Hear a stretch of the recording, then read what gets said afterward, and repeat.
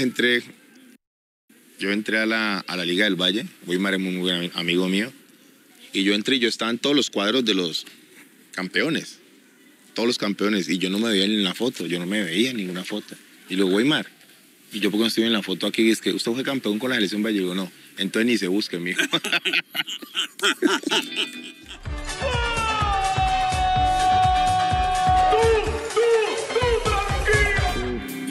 Qué honor, qué honor tenerte aquí. No. no es mío, weón. A mi cancha cuando comencé. Aquí donde comencé, mira Javi, ve. Comencemos por, por, el, por el principio. ¿Dónde nace Harold Lozano? ¿Dónde naciste, Harold? Yo nací en Cali. Nací en Cali, eh, exactamente en los seguros sociales. El 30 de marzo de 1972 nací un jueves santo. Ojo, ojo por ahí, importante eso. Privilegio. un privilegio. Y en el 72 fui el sexto de siete hijos y aquí estoy, ¿no? Eh, contento por todo lo que me ha dado la vida a mí, Javier, de verdad, yo he sido un privilegiado por la familia que he tenido y por, y por lo que me ha dado esto y lo que jugué lo más lindo, el fútbol, ¿no? Que es lo que yo amaba y, y- y supe hacer con lo que yo quería, eh, llegar a unas instancias bastante importantes eh, y jugar con gente muy importante de- del fútbol. Eh, jugamos los partidos de liga aquí y aquí nosotros era que representábamos esta, esta, esta, esta comarca, la de la Nueva Floresta, el Trébol y la base y la gente venía acá a vernos. ¿Cuántos años tenías? Alrededor de 12 años, 12, 13 años prácticamente. sí. ¿Antes también te gustaba el fútbol? Mira Javi, yo creo que eh, jugaba por el barrio. Por el barrio, las piedritas, En los andenes, en los sí. andenes, que hacía la pared uno con los andenes, ¿te acordás? sí, y sí, todo sí, eso? claro, sí. A veces jugábamos descalzo, uno arrancaba una, la uña chiquitica y uno ponía sangre y uno seguía corriendo y Ahora todo se eso. llama el quinto metatarsiano, no te olvides que eso ya cambió. y uno seguía jugando con la sangre ahí y eso, era, eso es lo que comenzamos, comenzamos nosotros. Posteriormente a eso ya fui creciendo y los, la gente grande del barrio hacían los partidos de fútbol y siempre me llamaban a mí para meterme en, la- en las dos piedritas. Pero Javier me recibía yo todos esos quemonazos. Pum, pum. Yo ya estaba aburrido, pero siempre me llamaban porque necesitaban a uno. Y yo en las piedritas, pum. Una vez Javi cogí el balón desde atrás y comenzó a sacármelo todos, siendo ellos mayores que yo que yo no creía. Ya cuando me llamaban, ya decían no jugar adelante. Sí. Ya no me aguanté esos quebronazos y, y entonces la gente ve, pero tú tienes condiciones, ¿por qué no vas a, a un equipo? Y ahí fue cuando estuve en, en Cruzeiro, llegué, probé, quedé, jugamos los torneos de liga y fue cuando Boca me contrató, porque yo destacaba mucho con Cali, Sarmiento, Boca América, entonces Boca fue que eh, fue donde mi mamá, le hablaron y yo dije, pero a mí yo no quiero fútbol, a mí no me gusta el fútbol. Pero la gente era, don Hernando mandaba un emisario al barrio Sí, sí, sí. y le daba para el bus, me daba para el bus, yo me gastaba lo del bus. Pero, pero Harold, el tema, el tema de- de- del fútbol pequeño, siempre ya hay inconvenientes, porque siempre los papás, ah, este muchacho va a jugar fútbol, porque es que jugar fútbol era como, como, como coartar la posibilidad de que estudiaran. Que Uno se tenía que dedicar al fútbol, básicamente, ¿no? Estudiar y después venir a jugar al fútbol era como complicado. ¿Tuviste ese problema también con tus papás? Eh, la presión era primero, mi, mi familia son, son chocuanos, tú sabes, Sí, los chocuanos sí, por el estudio siempre, yo siempre, y mi mamá, la mayoría de los hermanos de ella eran abogados, y ellos querían que uno se inclinara por un algo profesional así. Ellos no sabían que yo tenía las condiciones, prácticamente no sabían. Hasta el momento cuando ellos se dieron cuenta fue cuando la convocatoria de la selección Valle, que ya eh, con la selección Valle uno va con el maletín de la selección Valle, la camisa ya, y por el barrio eso ya es otra connotación, ya dice, uy, se me está en selección Valle. Ya cuando en el periódico, y mamá que es que mi papá, bueno, está bueno esto, ¿no? Pero eh, ellos siempre con la salvedad de que primero el estudio. Mi papá trabajó en Gulliar, toda la vida pensionado de Gulliar, que en paz descanse mi viejo, y siempre tuvimos las, las cosas que teníamos que tener, siempre. En situaciones muchas, eh, muchas veces, a veces no tenía para el bus, pero yo tenía mis amigos del barrio. Los del barrio, yo me acuerdo de los García, eh, los ¿verdad? porque para mí es un honor. Claro. eh, Wilson, Wilson, Wilson Narváez, los García. Y yo cuando no tenía para el bus, yo iba donde ellos y muchas veces ellos a veces no tenían y se lo conseguían con alguien. Y eso era un salvavidas. Y yo por eso ahorita me acuerdo de ellos y, para ellos yo creo que pues también les agradezco todo, todo lo que, lo que hicieron por mí, porque hicieron parte de, de que yo también pues construyera mi, mi camino como tal. Vamos, vamos a mirar esto. Harold, me dices, ¿qué piensas? Dale play. Bueno, en mi casa, por ser familia numerosa y de morochos, como decimos nosotros, pues todos fiesteros, eh, cualquier cosita que, una celebración, ya tratamos de, de hacer algo alegre. Yo me acuerdo que yo a mis hermanos a veces les quitaba las tablas de los colchones y cuando ellos se iban a acostar caían. En la puerta de la, de la habitación de mis hermanas colocábamos una escoba y hacíamos como que fuera un espanto. Cuando ellas abrían, entonces era el susto y nos manteníamos así. Eso era una recocha constante. Se molestaba, pero como con cariño.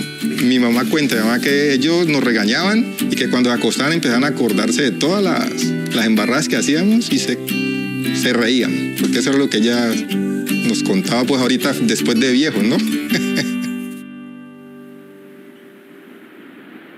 Alberto, el mayor. Alberto, es el mayor de todos, el mayor de todos, pero canzoncísimo. Sí. Y él era amante de, de, de Bruce Lee. Y él llegaba y comenzaba a practicar. también. Comenzaba a practicar las jugadas con nosotros y nos azotaba en la cama. Aquí que vení, esta haz esto y nos azotaba. Otro, mami, mira Albertico, ma. Y él llegaba, vení, vení. Y nos tiraba por acá. Nos, no, de esta manera el mayor de todos, pero tú lo ves, para un niño. Está siempre, así como está en la entrevista, se mantiene riendo. Él puede tener los problemas más grandes, pero siempre está con una sonrisa. Entonces, Selección Valle, ¿qué categoría y quién era el técnico? Yo comencé en la categoría, esa era prejuvenil, juvenil. El primer técnico mío fue Reinaldo Rueda. Reinaldo. Hay algo que, que la gente no sabe y vale la pena eh, contar esto. Yo estaba en la selección Valle, eh, jugamos Valle Antioquia en el Atanasio Girardot. Jugamos el preliminar de la selección Colombia, que iba para el Mundial del 90, con Nacional. Jugaban Selección Colombia Nacional. El estadio del Atanasio estaba llenísimo. Entonces en- salieron todos los jugadores de, la, de Colombia a ver el partido. Y pues en la época uno, yo, yo daba melo, yo daba mi melito, Sí, sí. simplemente yo pisaba el balón y Pacho le, le decía como que a Freddy, le decía, ve, y ese morocho tan grande, ese man, ¿de dónde salió? O sea, de ahí Pacho comenzó como, pero juega bien, ¿no? Y decía, hubo un penalti, Javier, un penalti a favor de nosotros, yo lo voy a patear y comienza el estadio a, a esquiflar. Y este pie me temblaba, Javier. Y yo era, claro, fíjate, en un estadio tan... Pero es que yo digo que ahora nosotros ah, no nos daba miedo jugar porque ya cuando entramos al profesionalismo nosotros vivimos toda la experiencia de todo estadio gritándole a uno y este pie me temblaba. Yo nunca había vivido una cosa de esta ahí. Y la gente en la Tanasio, yo voy a patear el penalti y se me sale el guayo. Repítalo otra vez. Ay, pues, otra vez la gente lo hice, pero ya descansé.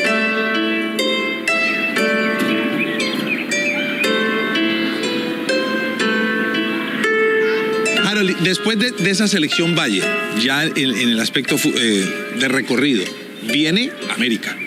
El médico Ochoa el que me hizo debutar a mí profesionalmente. El médico Ochoa, con fue el que debuté en el 91.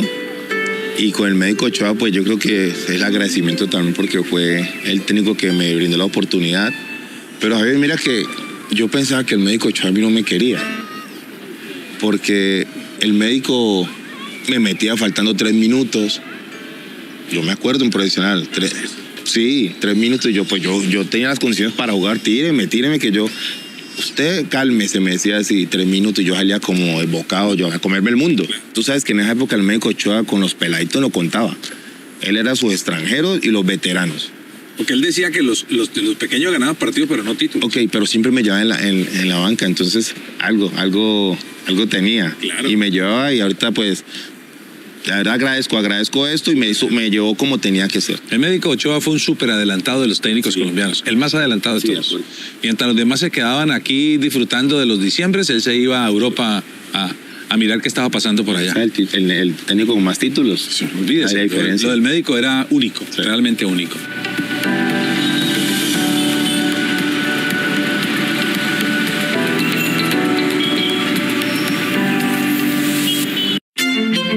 Bueno, la relación con la familia Lozano nace desde que yo tenía más o menos 15 años. Era novia del primo de él.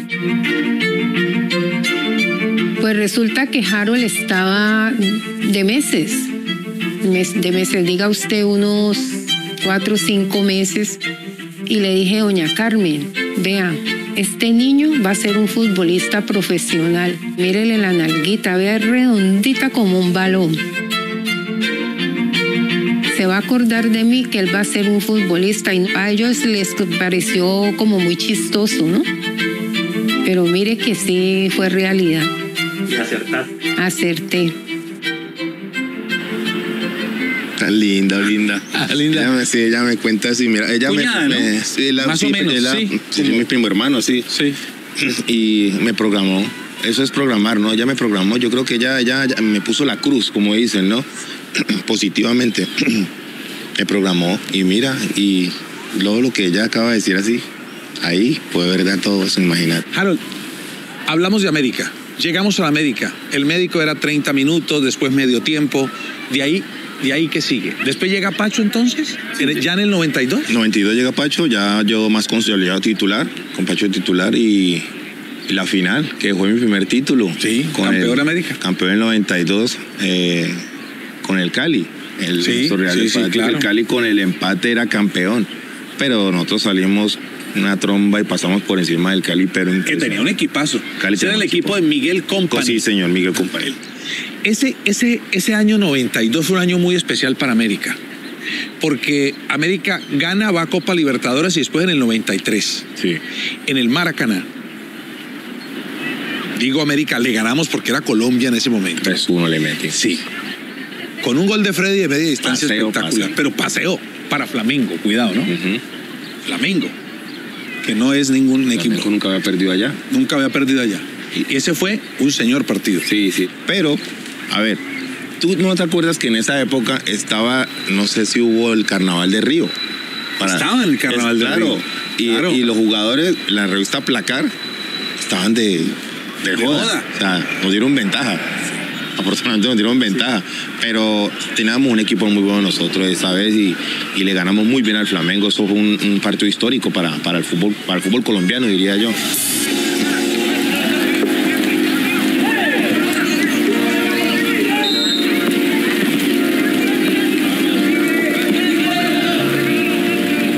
Después de esto viene una cosa muy, muy espectacular. Y es la época que tuviste, por eso te pongo ese tema. Qué lindo ese, ya me, me, me estoy moviendo. Sea, ya de una vez. ¿Cómo es eso que Harold Lozano brindancies? Por eso te dije que íbamos a hablar después de eso. ¿Eso qué? Ah, eso es. Una era, locura, esa era- esa era la música de la época. No, eso, esa era mi pasión. Yo, cre- yo A mí me gustaba más el breakdance que el fútbol. Y eso era afición, era... Y nosotros andamos con cartón con los chicos del barrio, con Eduard Cárdenas, me acuerdo, nosotros... Pero éramos enfermos por el breakdance y nosotros nos íbamos a los barrios, a Calypso, a, a Floralia, porque nosotros teníamos una reputación muy importante. Nosotros ¿Ah, sí? ensayamos aquí, ahí ensayamos, ensayamos ahí los pasos. Cuando comenzamos a bailar, las niñas se morían. Las niñas morían, ellos son, ellos son.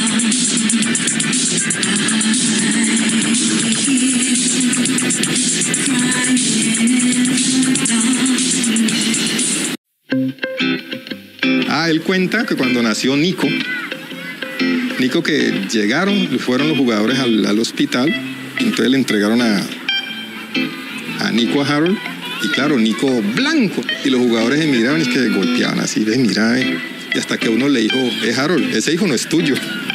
Entonces Harold le decía, "Mm, mm, ese hijo sí es mío porque no- nosotros los negros nacemos blancos, somos como los gallinazos, les decía a ellos. Harold siempre así jocoso. Pues, o sea, nosotros tenemos algo que se que, o sea, le decimos las coreografías. Es decir, hay una serie de canciones, unas cuantas canciones, las cuales nosotros sabemos que si suenan por ley, todo aquel que esté ahí reunido, que sepa o ya haya hecho parte de esas canciones, se tiene que parar a, a bailar, ¿cierto?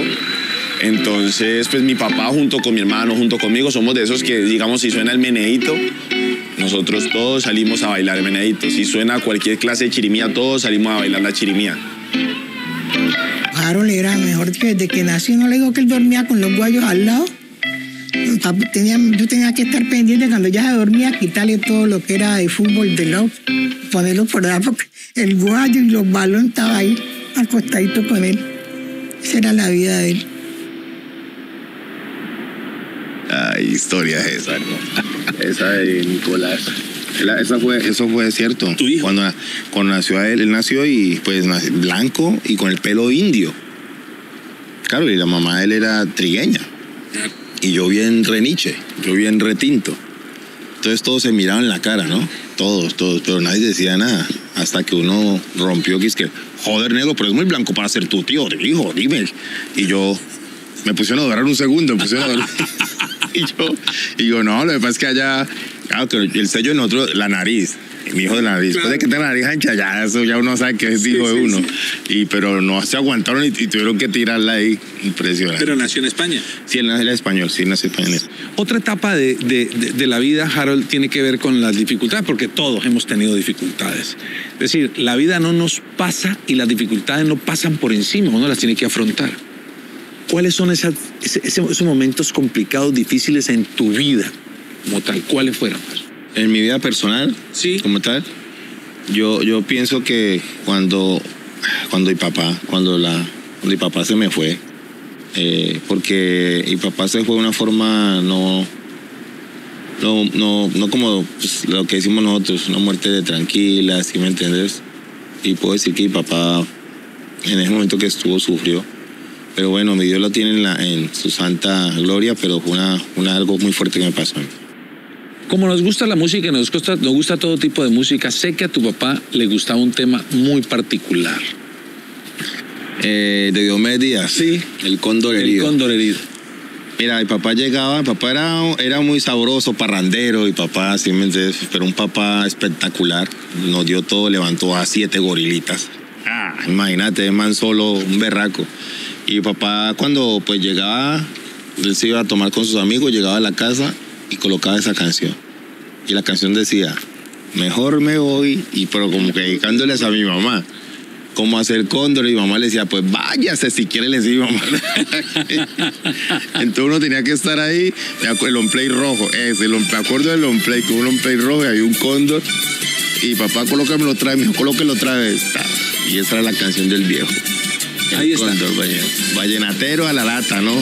Vallenatero 100%. El vallenato tiene unas letras muy hermosas, entre ellas esta.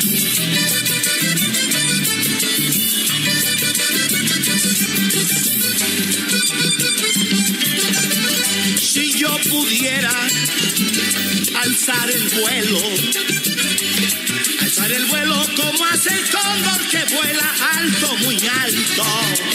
¿Cuál fue la enseñanza, la enseñanza más importante que te dejó tu papá?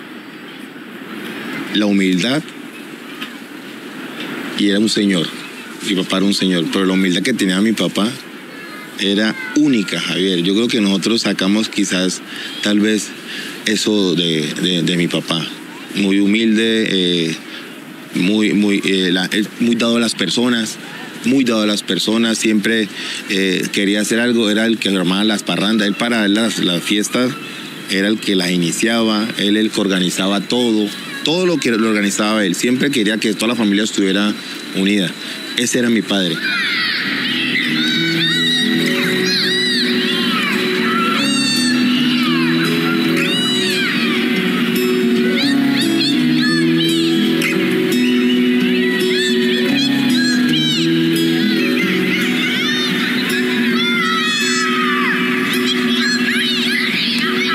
Fútbol es, una, es un tema pasajero que puede ser largo, no muy largo o muy corto, pero, pero, pero es una historia muy importante dentro de la vida, sobre todo para, para lo que uno pueda conseguir después. Por ejemplo, ahora, ¿cuál es la actualidad de Harold Lozano? Bueno, pues ahorita yo tengo mi escuela de formación, tú sabes. Eh, Yo soy empresario, hago veedurías, jugadores, tengo muchos contactos en Europa para llevar jugadores. De hecho, tengo jugadores que están por ahí esperando que una figurita que reviente y siempre en lo del fútbol. Yo creo que nosotros vamos a morir ahí, Javier. Sí, sí, sí, siempre. eso es verdad. Y eso no lo voy a dejar nunca porque fue lo que me dio a mí y ahora pretendo yo darle lo que devolverle, devolverle lo que el fútbol me dio.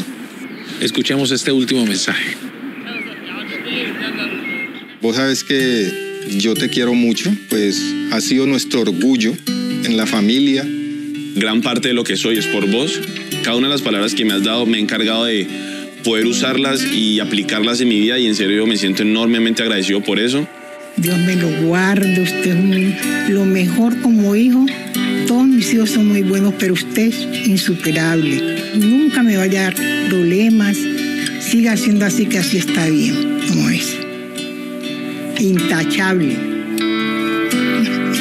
Saludos, hermano. Te quiero mucho. Muchísimas, muchísimas gracias por todo, por todas las lecciones y por todos los momentos vividos. En serio, pa. Gracias.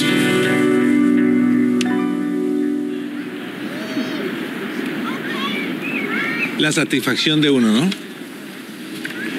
Me toca tragar, tragar grueso. Harold, yo te entiendo. Yo te entiendo. Mira, yo eh, la verdad, este, mi familia, uf, mi familia es, ha sido el pilar en esto, Javi, no te imaginas. Eh, eso, ese hijo mío, esos hijos míos son una bendición, la verdad. Yo, yo siempre me levanto y le doy gracias a Dios por, el hijo que tengo, por mis hijos que tengo, por, por mi familia. Pero hay una persona que, Javi, que es la más que es mi mamá. Eh, mi mamá un día me dio una enseñanza, Javi, y ahí yo creo que ahí yo comencé, esto no lo he contado, cuando quedamos campeones en el 92, yo vivía en el Alma Floresta, en el barrio, yo voy llegando porque después teníamos la, la fiesta que nos iban a hacer, voy llegando con el maletín, y en la sala de mi casa estaban todos los niños del barrio, todos sentados así en fila, y, y mamá les había comprado gaseosa, y mamá me dijo, siéntese ahí y los atiende. Humildad. Yo, mami, pero yo, se sienta de mi hijo y los atiende porque ellos quieren, ellos quieren hablar con usted. Es que usted para ellos es en esa elegido. Y me senté, entonces yo ahí dije, ¿qué enseñanza me di mamá? Sabía. Y ahí en adelante yo dije, este es el camino. Yo siempre estoy agradecido con la vida, con lo que me ha dado la vida a mí. Y yo, esto me enseña mucho también. Este homenaje que ustedes me hacen, y yo invito a toda la gente que eh, los pies en la tierra, Javi. Yo creo que eso, eso, yo, yo me retiré del fútbol y ahorita poner con la cabeza en alto, darme un abrazo con vos, tomarme una cerveza con vos, eso, y eso no tiene precio. Ya lo otro ya pasó, esto es efímero. Pero esto es lo que me queda a mí, esto. Y esto es grandioso. Y usted lo que me acaban de decir, Javi, es, es algo que nunca voy a olvidar, porque para mí es un homenaje porque involucraron a mi familia. Y eso es lo más grandioso que puede haber. Un abrazo.